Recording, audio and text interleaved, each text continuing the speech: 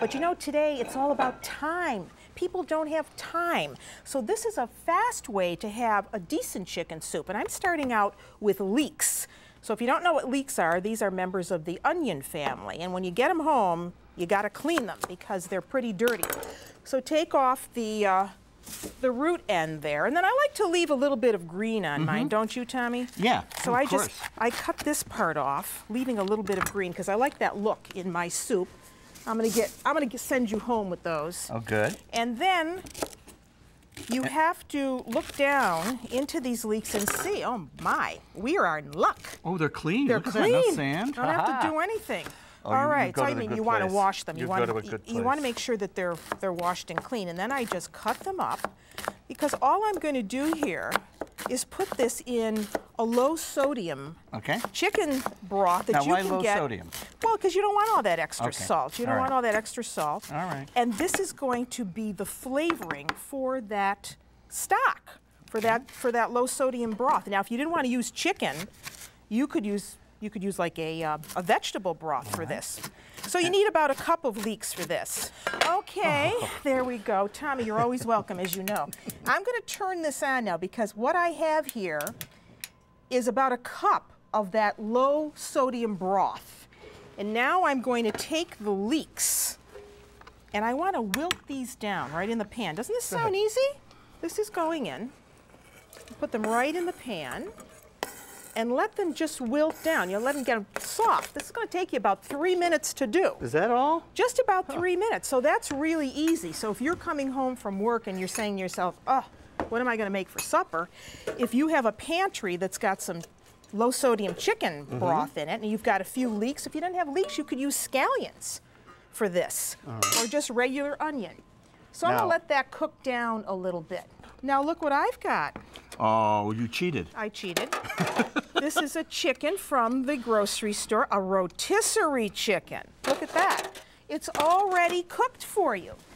So, you have a problem with getting home and you don't want to fool around with making chicken soup from scratch, you can use a store-bought chicken. Mary Ann, I'm so impressed with that. I know, well. That and all you have to do then is take off the skin. Okay. I want about like two cups All right. of cut up chicken.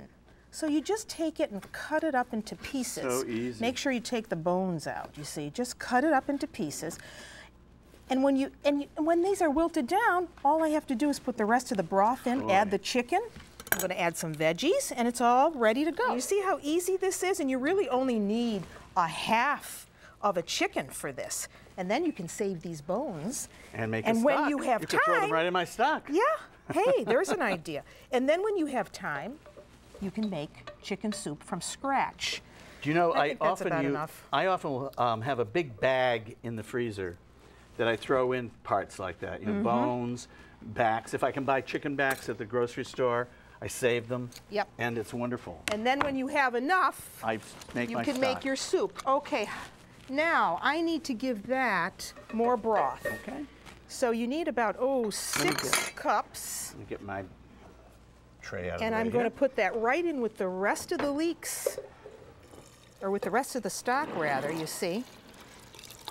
You see how easy this is, Tommy?